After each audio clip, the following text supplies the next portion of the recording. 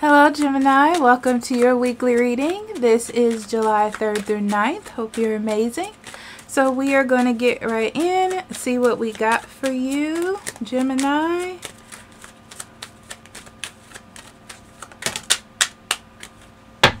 Okay, so we're starting off expectation, concern, despair unexpected income, thief and house.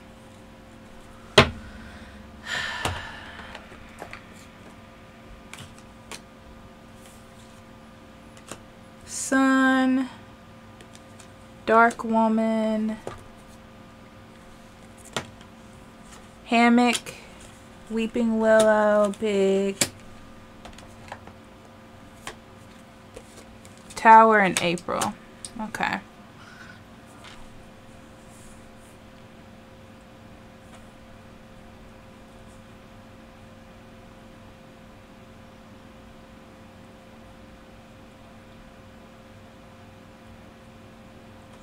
The first thing I'm seeing is something that has to do with your home, Gemini.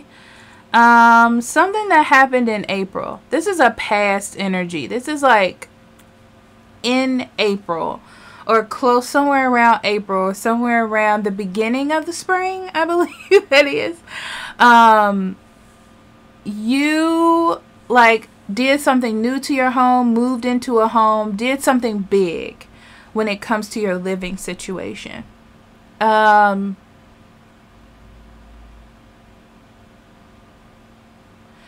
I feel like you're finding something out about the person who sold you the home or about the home. Like maybe there's back taxes or something. It's like where you thought that things were fine with your home and that th they're not. But we'll get into that. Um,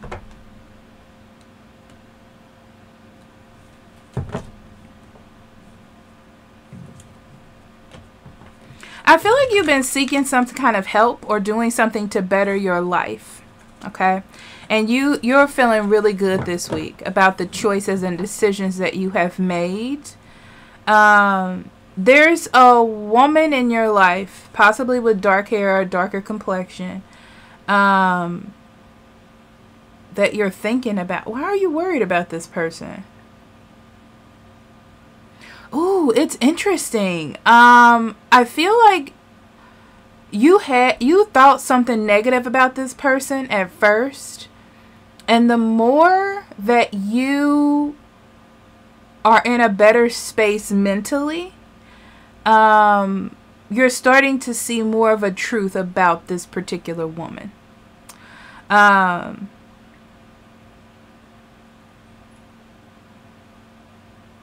yeah, it's very interesting because I feel like there's someone around you who is like full of despair or kind of like a victim um, and you're you're distancing yourself more and more from this person. You may have blamed the situation on someone before, and now you're not. Um, I also seeing this person may have told you something or showed you something, and you were like, no. But now you're starting to see it. Very interesting, Gemini. This is all over the place. Um,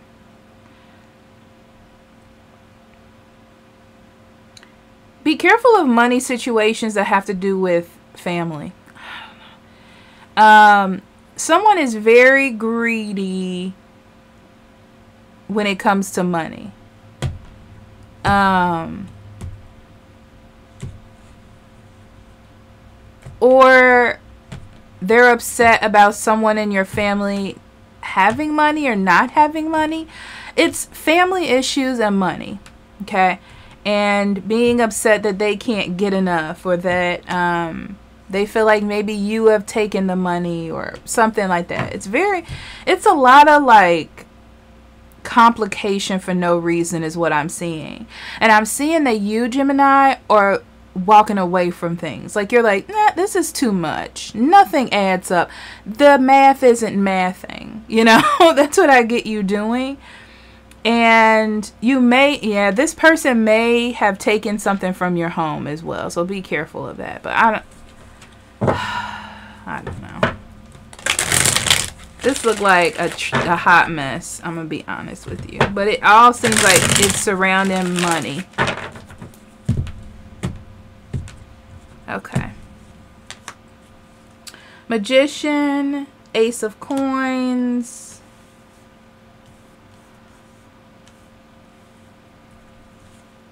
And the Fool.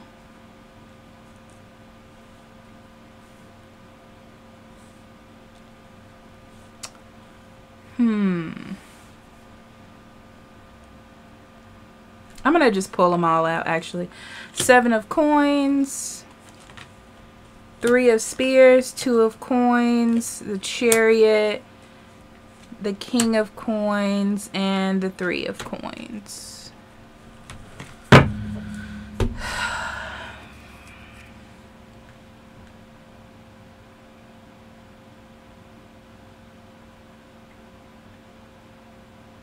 yeah, you've decided to take some control over your life. Um, your finances, your stability, uh, how you go about things. I feel like you have this idea of you want to nurture the kind of life that you want to have. And you're following that, Gemini, is what I'm saying. Okay. Um, and a lot of this is about taking risks and looking at things from different perspectives and not just listening to someone else's interpretation because it may be manipulative, you know, to fit their own narrative. And I feel like that's changing a lot for you. And I feel like for some of you, it's surrounding a woman with dark hair or a dark skinned woman. Um, Yeah, it's like you're seeing something about them truthfully.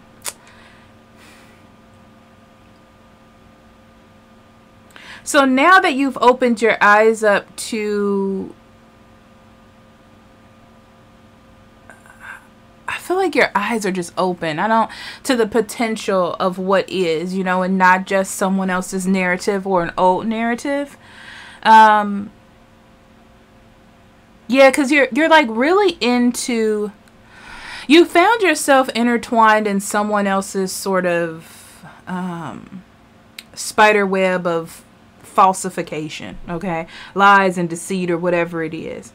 You got yourself kind of tied up in there because you care about a person or because you love them. But you are like, I don't want to invest my time and energy to something that's not going to help in the future. Like, it's like when you have a friend that's woe is meing everything, you know, like, oh my God, this person hurt my feelings. Oh my God, but they're not moving on from it. They just keep saying, like, I can't trust people because this person hurt me three years ago. And you're like, what? You know? um, so I feel like, um, you're starting to see that or that someone is using other excuses for why they can't do better or why they can't be better. They're blaming other people and other situations. Um, and i feel like you're it's not like you're taking yourself out of the situation you're rebalancing everything. So you're not always taking their side or you're not always giving them advice or getting involved. You're more like how can I say this, Gemini? You're teaching yourself better boundaries when it comes to this individual because you're seeing like it's needed. It's needed with this person, okay? Um, and they always want your attention. It's like more, more, more. I need, I need you to believe me. I need this more, more, more. Woe is me. You know, like it, there's a lot of that going on. There's a lot of that going on. Let me see something here. Yeah, it's an addiction. You have Peels and Red Hot Chili Pepper. It's an addiction of this person. Okay, to always be right, to always have people on their side. They'll do what they have to do to make that happen for themselves. Um, so,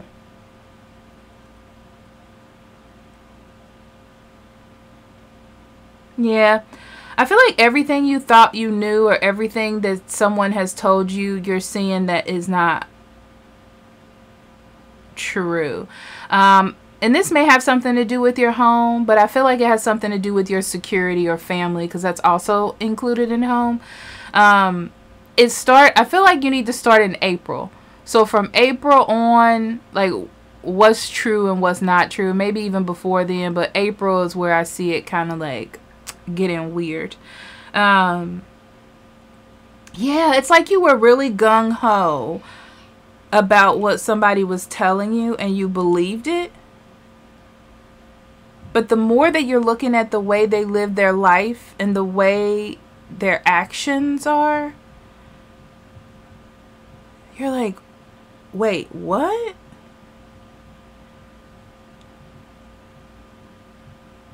Yeah, because I see you. That's what's so interesting is I see you like trying to be on their team. But realistically, you know, like we can work together, but we have to work together. We have to have compromise. We have to believe the same things. Yeah. You're definitely listening to your intuition when it comes to things now and not just listening to either other people's opinion or what you feel like you should should do. I feel like you got burnt, Gemini, and um, you're learning your lessons from it. And particularly for some of you, you're learning about an individual in your life that maybe you can't trust. Okay? I don't feel hate. I just feel awareness. All right? So let's see what spirit has for you. We have full moon completion. Yeah. You've learned everything. Yeah, Dreamtime creation. You've learned everything you need to learn about this situation, Gemini, with the full moon, and it's coming to a close. This is closing something out. This is like final realizations. This is like I understand what's going on. I see the I see the bigger picture. Even though they may be shrouded in some lies and some complications, I see as much as I I need to and I know that it needs to some of this needs to stop, right? And then we have dream time creation. This is creating a situation of your dreams, right? So I feel like this is not getting intertwined in someone else's story and why this. You're like, nope, that doesn't sit right with me. It doesn't feel right to me. My intuition is telling me otherwise. I see this story that you're trying to weave for me, right? But it's just not adding up, you know? That's what I'm getting, okay? Wow, Gemini, I love you. I'll see you next week, okay? Bye-bye.